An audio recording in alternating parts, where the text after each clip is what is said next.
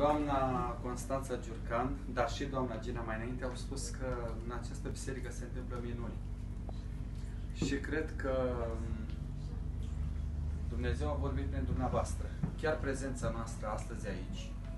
și, bineînțeles, prezența aproape în fiecare zi a unei grupe sau două de copii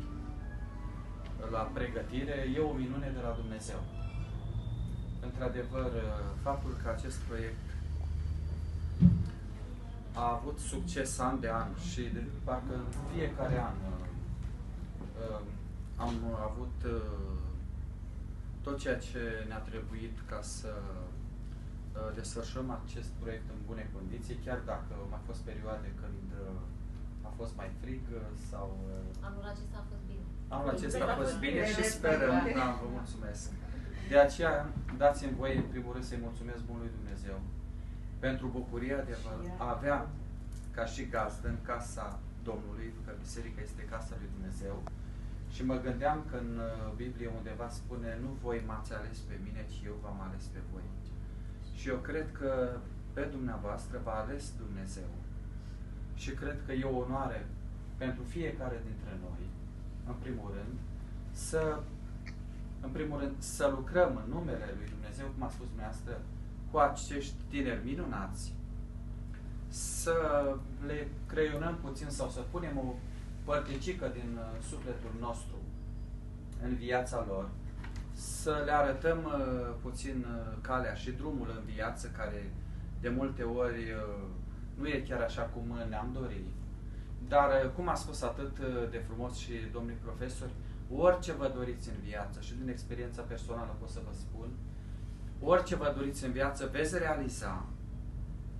dacă veți fi perseverenți și dacă veți lupta până la capăt.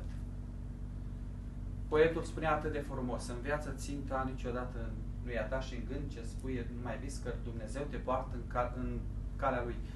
Dar voi trebuie să vă găsiți calea. Voi să vedeți,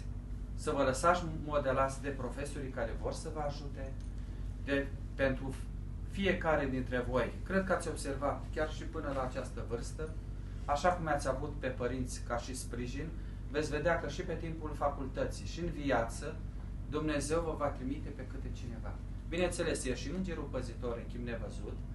dar vă va trimite un prieten, un coleg, un tovarăș,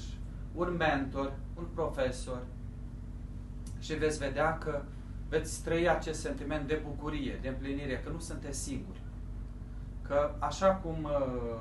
acești profesori sunt prelungirea lui Dumnezeu în viața voastră și voi veți fi, vi se va da posibilitatea ca și voi să fiți uh,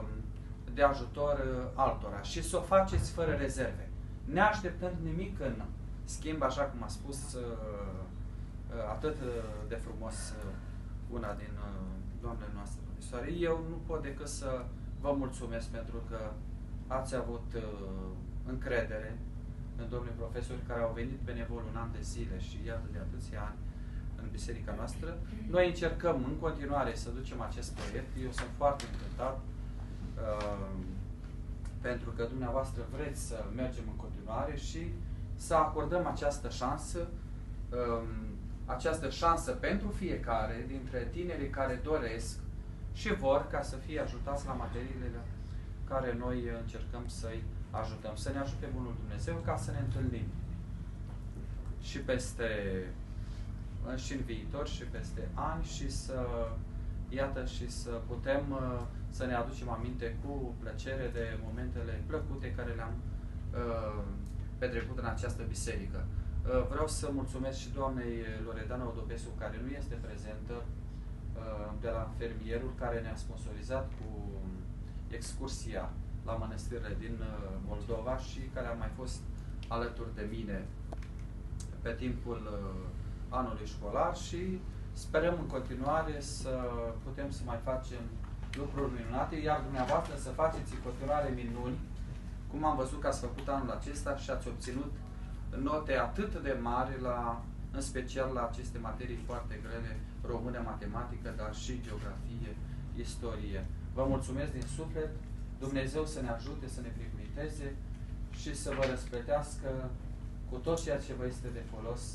și de ajutor în viață.